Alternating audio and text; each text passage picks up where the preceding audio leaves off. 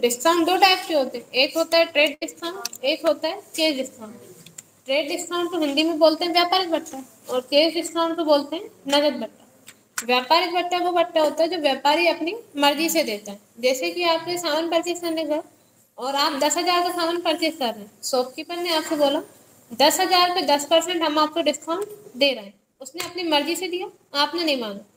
जो डिस्काउंट व्यापारी अपनी मर्ज़ी से देता है, वो होता है व्यापारिक भट्टा जो व्यापारी अपने बिज़नेस में लाभ कमाने के लिए अपनी मर्ज़ी से हैं वो होता है व्यापारिक भट्टा। ठीक है? वो डिस्काउंट किसने दिया है? व्यापारी ने आपको दिया? आपने नहीं मांगा था।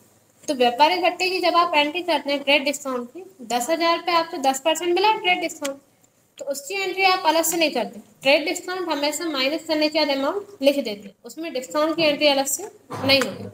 और व्यापारिक भत्ता ट्रेड डिस्काउंट आपका उधार पे भी हो सकता है और नगद पे भी हो सकता है। जब आप उधार माल खरीदेंगे, तब भी आपको मिल सकता है। जब आप नगद माल खरीदेंगे, तब भी।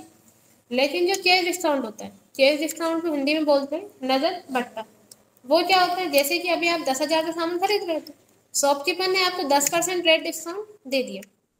दस हज़ार का आप दस परसेंट निकालेंगे तो अमाउंट आएगा एक हज़ार। आपको केस कितना देना है? नौ हज़ार। लेकिन आपने उनसे बोला, नौ हज़ार हम आपको नहीं देंगे, हम आप, इस पर हमें और डिस्काउंट चाहिए। अब डिस्काउंट कौन मांग रहे हैं? कस्टमर मांग रहे शॉपकीपर नहीं देना चाहता, फिर भी कस्टमर लेना चाहता है। वो हो जाता है केस डिस्काउंट और केस डिस्काउंट की एंट्री हमेशा अलग से होती है। उसमें आप डिस्काउंट जितना आपको मिला है, वो आप अलग से उसमें शो करवाते हैं। और केस डिस्काउंट सिर्फ़ नगद पे रहता है, उधार पे कभी भी नहीं मिलता। जब आप नगद माल खरीदेंगे, तभी मिलता है, या नगद माल बेचेंगे, तभी आप देते हैं। उधार पे केस डिस्काउंट कभी भी ना मिलता, ना अपन देते। लेकिन ट्रेड डिस्काउंट उधार पे भी रहता है और नगद पे भी।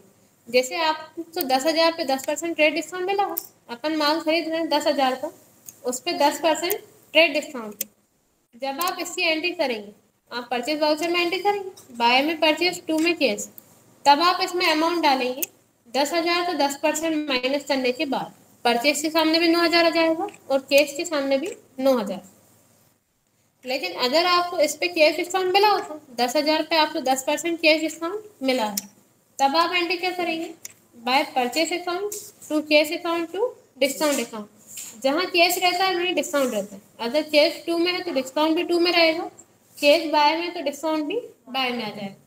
अभी अपन माल खरीद रहे हैं। केस आपका टू में है केस जा रहा है। तब आप एंट्री करते हैं। By purchase account to cash account to discount purchase के सामने आप अमाउंट डालेंगे, पूरा। माल कितने का था? दस हज़ार, पूरा। लेकिन आपने उन्हें केस कितना दिया? डिस्काउंट माइनस करने के बाद दस हज़ार तो दस परसेंट निकालेंगे मतलब एक हज़ार। तो आप दस हज़ार में से एक हज़ार माइनस करेंगे। आपने उन्हें केस दिया है नौ हज़ार। एक हज़ार क्या हो गया? डिस्काउंट। तो केस के सामने आप लिखेंगे नौ हज़ार, डिस्काउंट के सामने एक हज़ार। ठीक है? क्योंकि केस डिस्काउंट हमेशा अलग से शो होता है ट्रेड डिस्काउंट अलग से शो नहीं करवाते उसकी अलग से एंट्री नहीं होती। लेकिन अगर किसी एंट्री पे आपको दोनों डिस्काउंट साथ में मिलेंगे जैसे दस हज़ार के माल पे दस परसेंट आपको ट्रेड डिस्काउंट मिला है, दस परसेंट केस डिस्काउंट तब आप एंट्री क्या करेंगे? By purchase account to cash to discount क्योंकि केस डिस्काउंट भी है तो डिस्काउंट उसमें अलग से आएगा। फिर आप अमाउंट कैसे डालेंगे? आप अमाउंट डालेंगे, दस हज़ार में से सबसे पहले आप माइनस करेंगे ट्रेड डिस्काउंट तो इसी में एंट्री होती है, सबसे पहले आपको माइनस करना है ट्रेड डिस्काउंट दस हज़ार से दस परसेंट आप निकालेंगे तो आएगा एक हज़ार। अब दस हज़ार में से आपने एक हज़ार माइनस कर दिए अमाउंट बचा नौ हज़ार। ट्रेड डिस्काउंट शॉपकीपर ने दिया था, वो आपने माइनस कर दिया। अब आपको केस कितना देना था? नौ हज़ार। लेकिन नौ हज़ार पे आपने दस परसेंट डिस्काउंट और ले लिया। तो नौ हज़ार तो दस परसेंट हो जाएगा, नौ सौ रुपये अब आप जब नौ हज़ार में से नौ सौ माइनस करेंगे तो अमाउंट आएगा आठ हज़ार एक सौ। आप उन्हें केस कितना दे रहे हैं? दोनों डिस्काउंट माइनस करने के बाद। देंगे, क्योंकि दस परसेंट उसने दिया, दस परसेंट अपन ने दिया।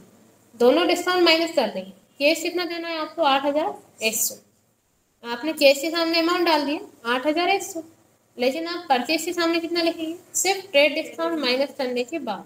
जो शॉपकीपर ने आपको दिया था, सिर्फ़ वो डिस्काउंट माइनस करने के बाद। मतलब आप परचेज के सामने लिखेंगे नौ हज़ार। और डिस्काउंट भी आ जाएगा केस डिस्काउंट कितना मिला था आपको? नौ सौ रुपये जो अपन ने लिया। इस टाइप से एक होता है ट्रेड डिस्काउंट एक होता है केस डिस्काउंट आप कोई डाउट हो तो पूछिए।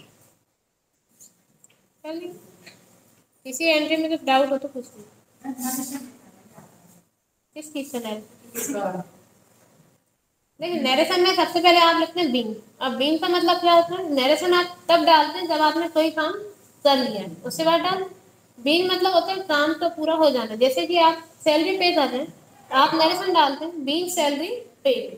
जब सैलरी पे कर दी, तब आपने एंट्री की, फिर आप वहाँ पे नरेशन डाल रहे तो ये तो होता है बीन इसलिए आप जब कोई भी नरेशन डालते हैं, उसके आगे आप लाते हैं सबसे पहले बीन कोई सी भी नरेशन सब में लिखते हैं आप पहले बीन फिर अगर आप माल खरीद रहे हैं, जो आपने काम किया वही आपको नरेशन में डाल जैसे आपने नगद माल खरीदा तो आप नरेशन डाल देंगे। Being goods purchase by cash माल आया केस चला गया, नगद माल खरीदा। अगर आप उधार माल खरीदते हैं तो बीइंग गुड्स परचेज और क्रेडिट उधार माल, उधार पे माल खरीदा। है अगर आप चेक वगैरह दे रहे हैं तो आप उसमें डाल देंगे being goods purchase by cheque cheque दे के आपने माल खरीदा जो भी आपकी एंट्री आपने की है, उसके अकॉर्डिंग आप नरेशन डाल देते हैं अगर आप सैलरी दे रहे हो बीइंग सैलरी पे, और अगर कमीशन मिल रहा है तो बीइंग कमीशन पे इस टाइप से आपने डाल क्या?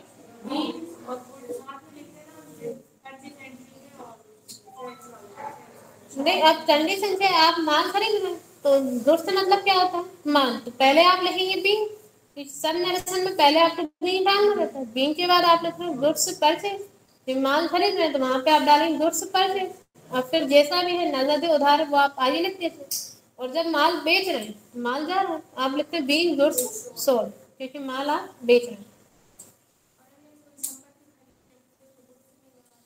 उसमें संपत्ति का नाम जाता है क्योंकि गुड्स मतलब होता है माल। जब आप माल खरीदते हैं या माल बेचते हैं, तब आपको गुड्स लिखना है।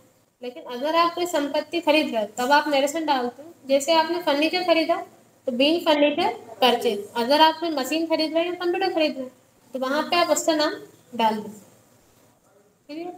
आपको डाउट हो तो पूछ लीजिए।